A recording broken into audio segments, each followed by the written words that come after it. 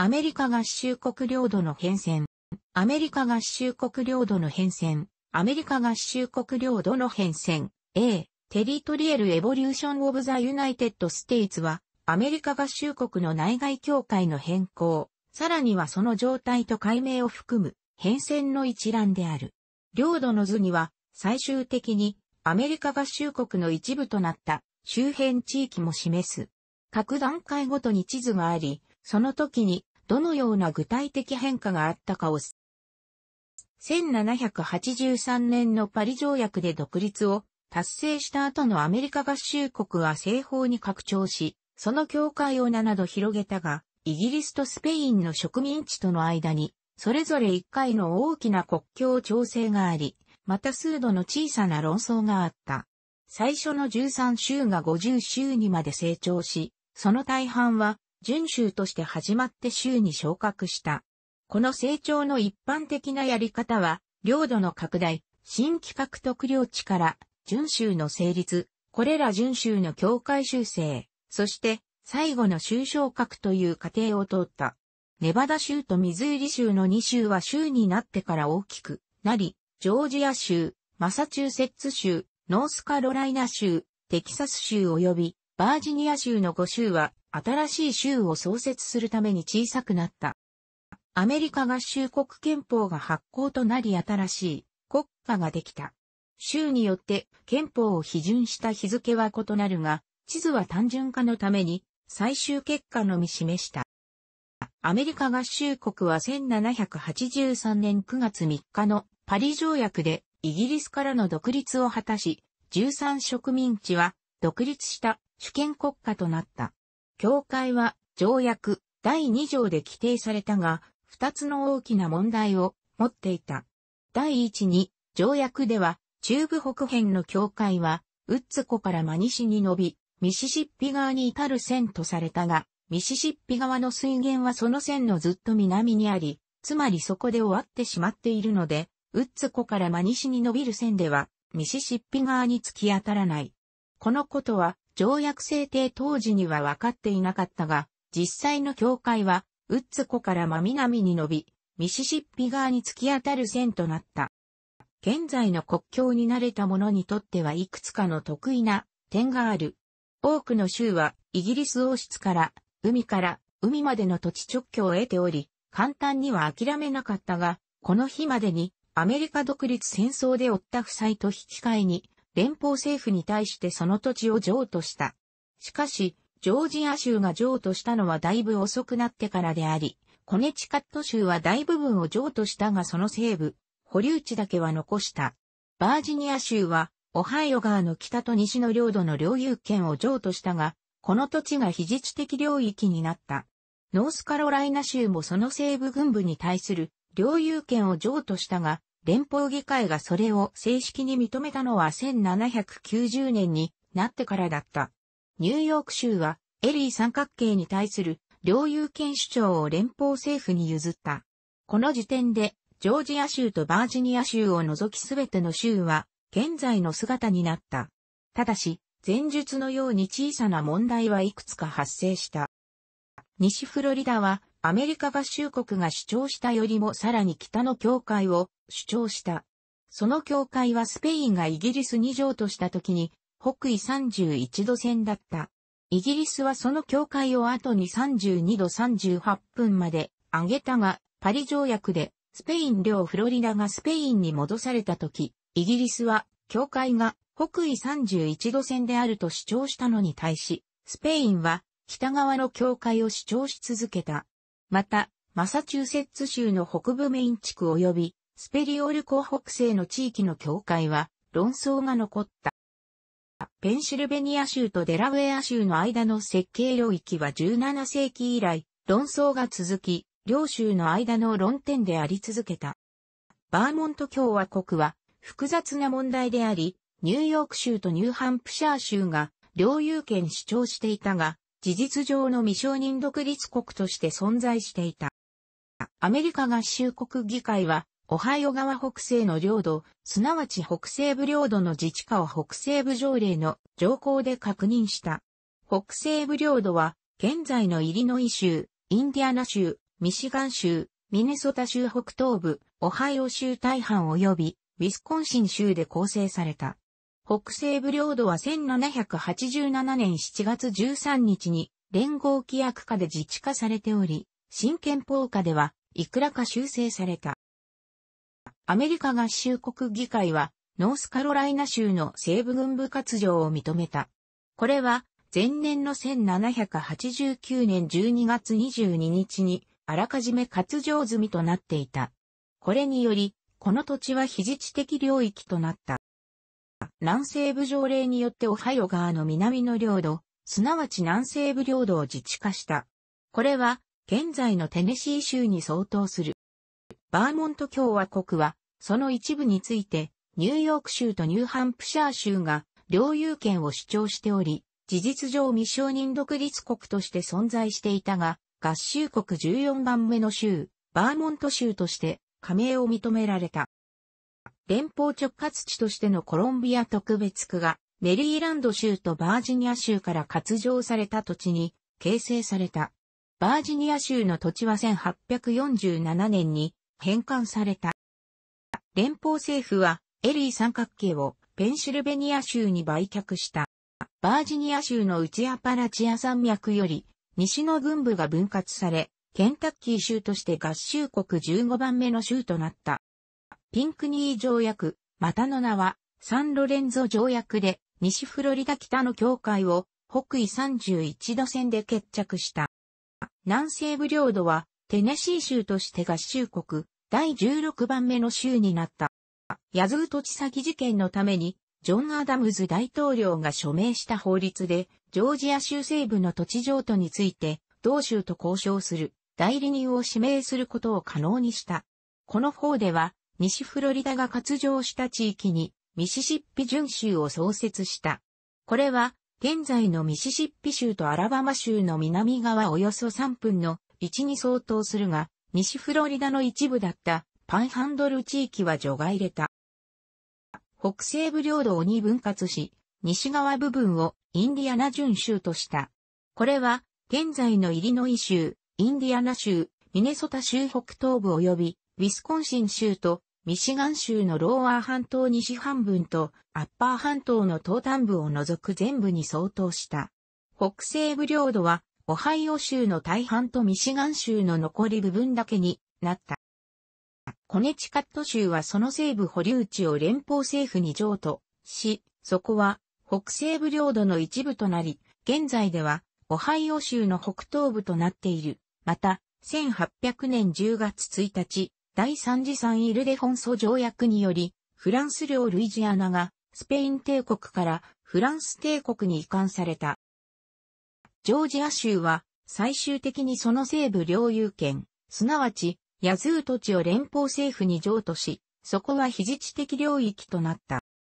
北西部領土南東部がアメリカ合衆国第17番目の州、オハイオ州として加盟を認められた。北西部領土の残りはインディアナ準州が吸収した。ルイジアナ買収が行われ、アメリカ合衆国はミシシッピ川を越えて西に拡大した。西フロリダとの間にはミシシッピ川の東にどれだけの土地が含まれていたかについて論争があった。ルイジアナ買収の範囲は単にミシシッピ川の流域と定義されていたために、現在の国境より幾分北側まで伸びていた。買収範囲には、現在のアーカンソー州、カンザス州、アイオワ州、ミズーリ州、ネブラスカ州及び、オクラホマ州の全地域と、コロラド州、ルイジアナ州、ミネソタ州、モンタナ州、ニューメキシコ州、ノースダコタ州、サウスダコタ州、テキサス州及びワイオミング州の一部が含まれていた。また現在のカナダ、アルバータ州、マニトバ州及びサスカチワン州の南端部も含まれていた。ジョージア州が放棄し、非自治的領域となっていた部分は、ミシシッピ準州に吸収された。ミシシッピ準州は、現在のミシシッピ州とアラバマ州の全域にあたり、この時はまだ西フロリダの一部だったパンハンドル、細長い土地だけが領域に入っていなかった。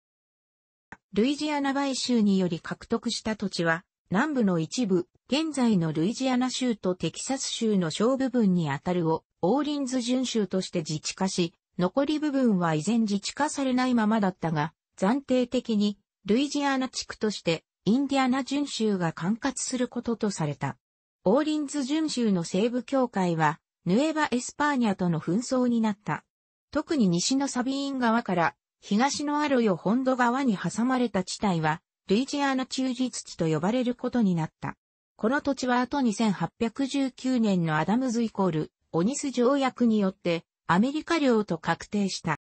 インディアナ準州からミシガン準州が分離され、現在のミシガン州ローアー半島の全体を含んだが、アッパー半島はインディアナ準州が北西部領土から分離した時に、東端部のみを含んでいたので、そこだけがミシガン準州に含まれた。ルイジアナ地区が自治化されて、ルイジアナ準州が起立された。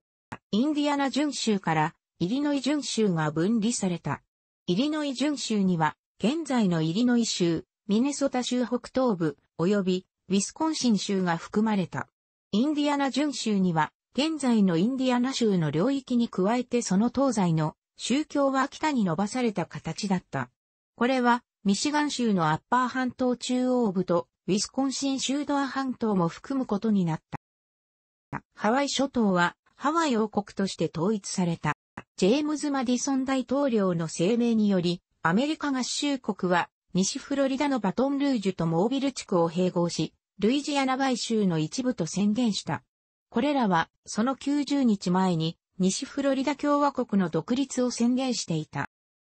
オーリンズ準州の大半が合衆国第18番目の州、ルイジアナ州として加盟した。準州の残り部分、北西端部はルイジアナ準州に譲られた。連邦政府は西フロリダの一部、モービル地区をミシシッピ準州に併合し、現在のアラバマ州とミシシッピ州を合わせたものに相当するようになった。ルイジアナ準州はすでに昇格した州と同じ名前を持っていたので、ミズーリー準州と改名された。インディアナ準州のミシガン湖以南の部分が合衆国第19番目の州、インディアナ州として加盟を認められた。準州の残り、ミシガン湖以北部分は自治的領域ではなくなった。ミシシッピ準州からアラバマ準州が分離した。どちらの準州も現在の州に相当する。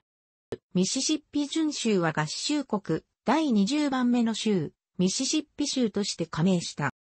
によって、ウッツ湖より西の北緯49度線がイギリス領との境界に設定され、アメリカとイギリスの共同領土としてオレゴンカントリーが設立された。オレゴンカントリーは今日のアイダホ州とオレゴン州の大半、ワシントン州全域及びモンタナ州の一部、またカナダのブリティッシュコロンビア州南部に相当する。この条約によってミネソタ州北西部、ノースダコタ州北東部及びサウスダコタ州北東部からなるレッドガー流域をアメリカ合衆国に移管した。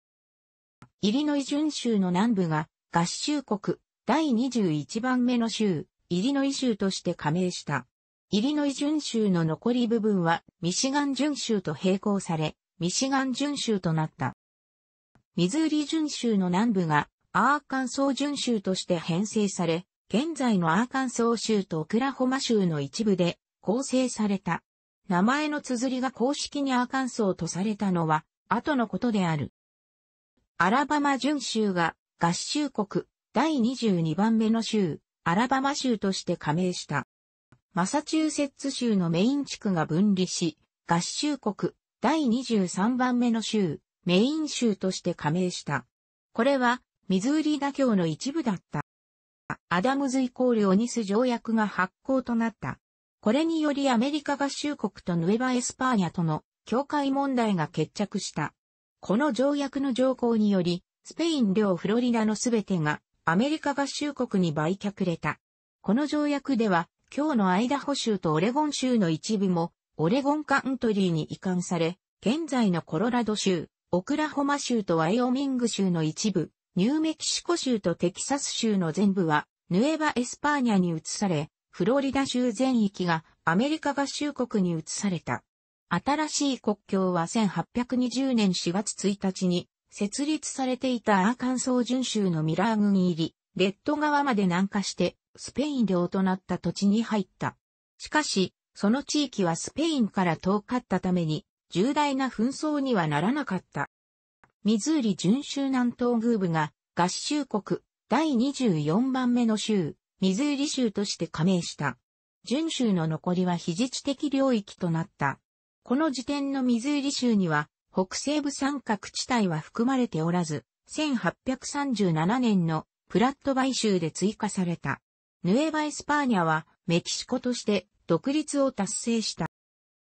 東フロリダとすでに他の州に組み込まれていなかった西フロリダの部分が一つになってフロリダ準州として編成された。これは現在のフロリダ州に相当する。この頃、アーカンソー準州の公式の綴りがアーカンソーテリトリーとなった。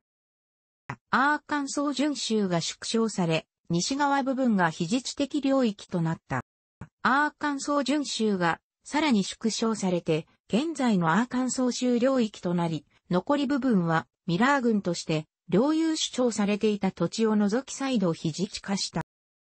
現在のアイオワ州、ミネソタ州西部及びノースダコタ州とサウスダコタ州の東部からなる大きな非自治的領域がミシガン準州に付加された。テキサス共和国がメキシコからの独立を果たしたが、その領域の大半は論争が残った。テキサス共和国は現在のテキサス州東半分を支配し、その西半分とコロラド州、カンザス州、ニューメキシコ州及びワイオミング州の一部が論争となった。アーカンソー準州のミラー郡はテキサスの領内に入り、そこの住民はテキサス人としての認識を持つようになり、アーカンソー準州とテキサス共和国両方の政府に軍から代表を送った。アーカンソー準州は合衆国第25番目の州、アーカンソー州として加盟した。ミラー軍については領有権の主張を続けていたが、次第に不適当ということになっていった。ミシガン準州からウィスコンシン準州が分離し、今日のウィスコンシン州、ミネソタ州、アイオワ州及びノースダコタ州とサウスダコタ州の東部から構成された。トレドストリップに対する領有権主張をオハイオ州に譲る代償として、現在のアッパー半島全域がミシガン準州の領域に当てられ、現在のミシガン州の領域ができた。ミシガン準州が合衆国第26番目の州、ミシガン州として加盟した。プラット買収により、ミズーリ州に小領域が追加され、現在の領域に等しくなった。ウィスコンシン準州からアイオワ準州が分離され、現在のアイオワ州とミネソタ州西部、及びノースダコタ州とサウスダコタ州の東部から構成された。ウィスコンシン準州は、ミネソタ州北東部とウィスコンシン州の領域となった。ウェブスターイコールはシバートン条約により、アメリカ合衆国とイギリスがロッキー山脈より東に持っていた土地との間の境界を確定し、メイン州及びミネソタ州北東部の境界に関する論争を荒らせた。フロリダ準州が合衆国第27番目の州、フロリダ州として加盟した。テキサス共和国が合衆国第28番目の州、テキサス州として加盟した。1845年3月1日にアメリカ合衆国に併合されていたが、テキサスはその後もしばらくは合衆国への加盟に同意していなかった。テキサス州には領有権を主張するメキシコの土地すべてを含み、現在のテキサス州全域とコロラド州、ニューメキシコ州、オクラホマ州及びワイオミング州の一部も含んでいた。テキサス州が合衆国に加盟したことで、アーカンソー州はミラー郡に対する領有権を諦めた。オレゴン条約により、イギリスが所有していた土地との大陸国境として、ウッツ湖の西は北緯49度線とすることになったバンクーバー島は含まれなかった。オレゴンカントリーの共同領有は終わり、アメリカ側の土地は編入され、非自治的領域となった。アイオワ準州の南東部が合衆国第29番目の州、アイオワ州として加盟した。準州の残りは非自治化した。コロンビア特別区からポトマック川南岸の土地をバージニア州に返還した。連邦議会は1846年7月9日に返還法を成立させ、この日にバージニア州が領有を再開した。グアダルーペイダルゴ条約で米北戦争を終結させ、メキシコから広大な領土を獲得した。そこは現在のカリフォルニア州、ネバダ州、ユタ州の全域とアリゾナ州の大半、及びコロラド州、ニューメキシコ州とワイオミング州の一部となっている。ウィスコンシン準州の南東部が合衆国第30番目の州、ウィスコンシン州として加盟した。準州の残りは非自治化した。オレゴン準州が編成され、現在のアイダホ州、モンタナ州北西部、オレゴン州、ワシントン州及びワイオミング州西部を含むことになった。ミネソタ準州が編成され、今日のミネソタ州及びノースダコタ州とサウスダコタ州の東部を含むこととされた。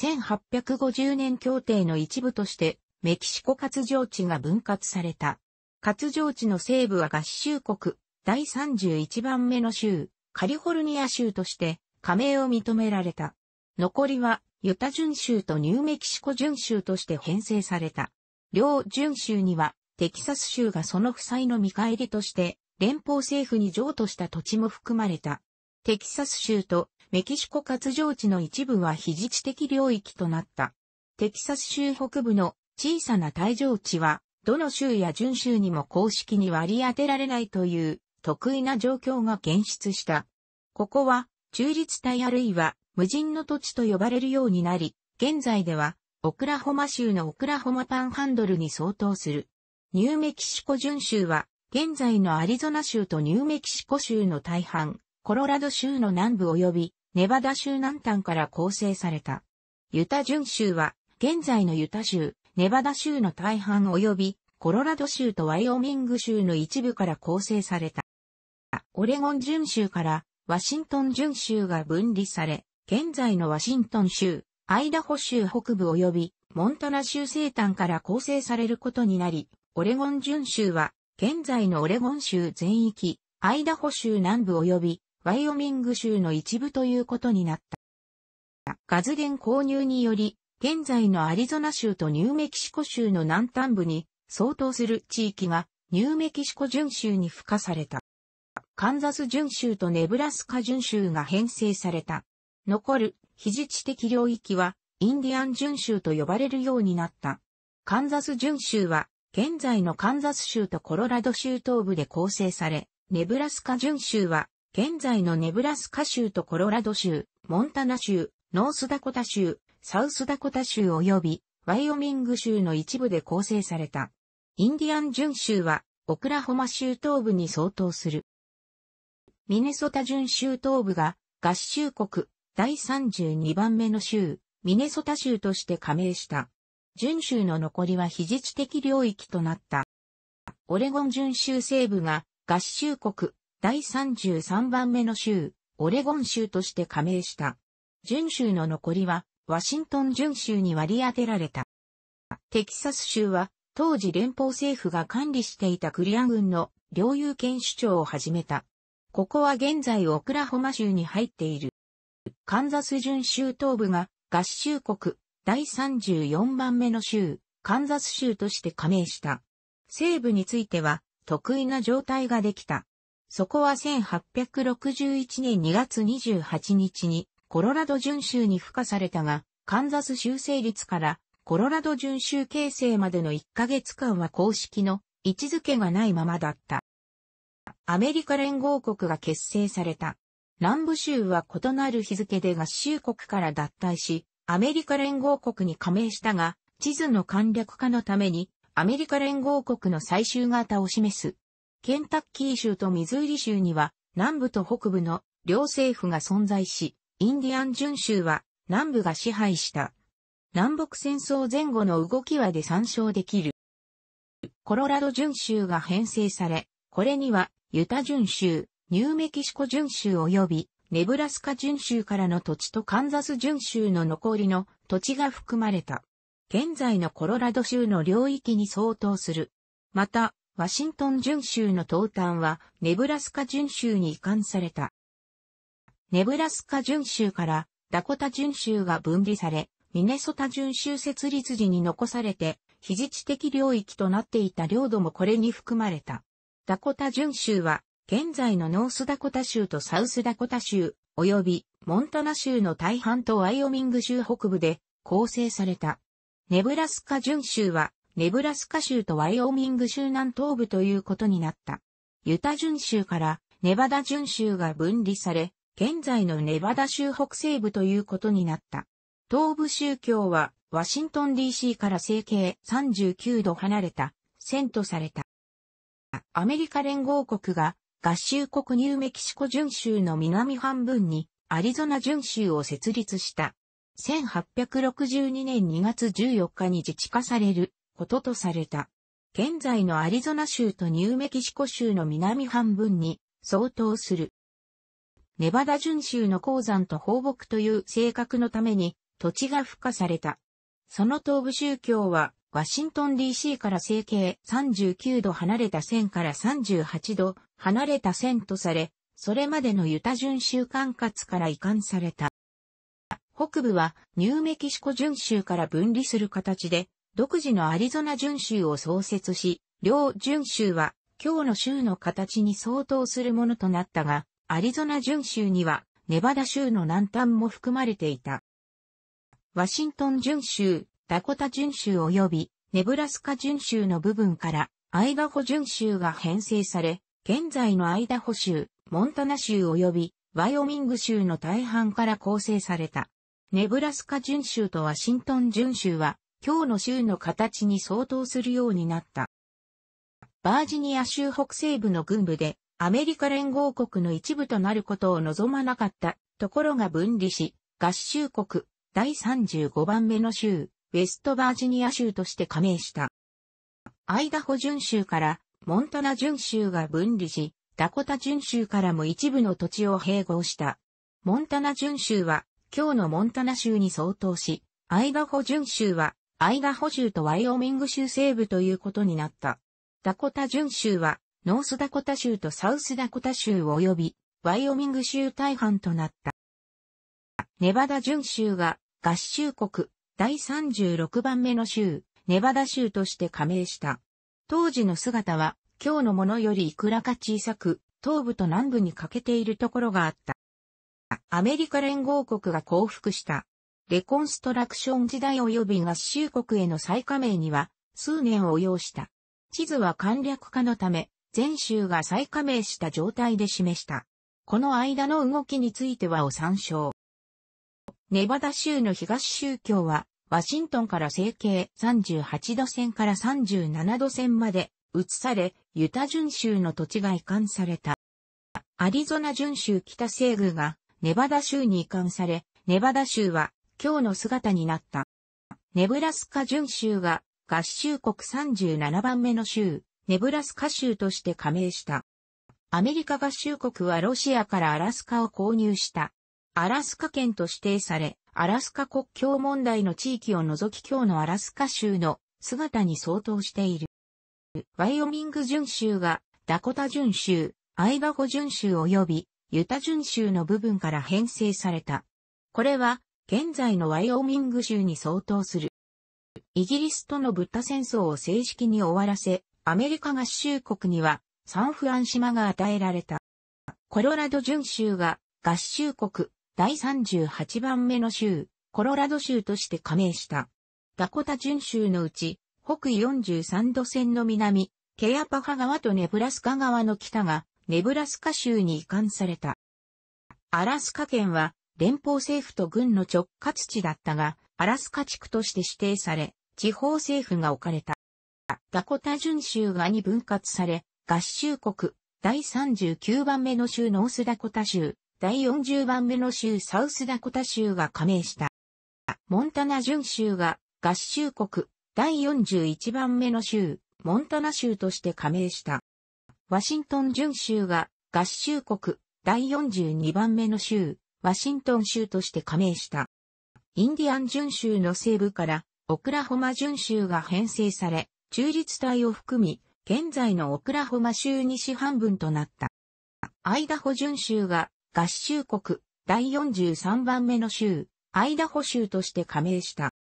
ワイオミング準州が合衆国第44番目の州、ワイオミング州として加盟した。ハワイ王国がハワイ共和国となった。ユタ準州が合衆国第45番目の州、ユタ州として加盟した。アメリカ合衆国最高裁判所は公式にグリア軍をオクラホマ準州に所属すると裁定した。ハワイ共和国はアメリカ合衆国に併合された。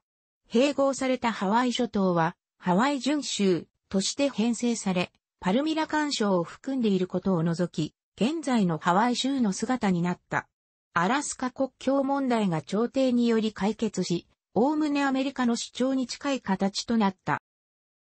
オクラホマ準州とインディアン準州が合併し、合衆国第46番目の州、オクラホマ州として加盟した。